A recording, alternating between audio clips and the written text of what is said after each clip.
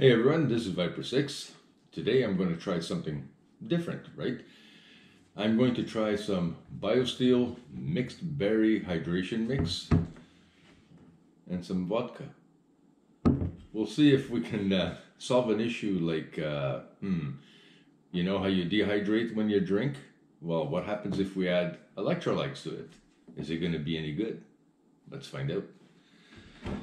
First we'll pour some vodka into a small shot glass.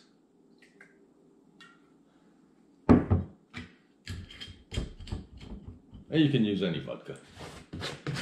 Then, well, one scoop, one scoop of these does like almost a liter of water, so we'll just add a little. Well, that's a little more than a little, but you know, more is better sometimes. First, we'll have to see if this stuff actually mixes in there, right? Let's try this. Well, it seems to be dissolving.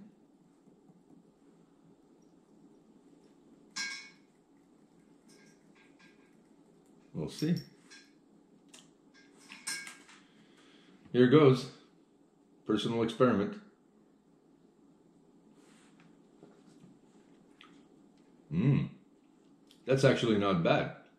So I think we may just have solved the uh, issue of uh, dehydrating when you drink. So, yeah, good to me. Give it a try. Let me know what you think in the comments. Later, people.